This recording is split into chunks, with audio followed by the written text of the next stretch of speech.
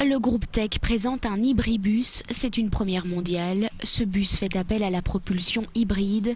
Il combine les avantages des véhicules hybrides série et parallèles ainsi que ceux des véhicules électriques. L'hybribus conserve les mêmes performances qu'un bus classique. Il est muni d'un moteur diesel de faible cylindrée et d'un moteur électrique. Le gain en carburant par autobus s'élèvera à 146 tonnes, soit 6 000 euros par an.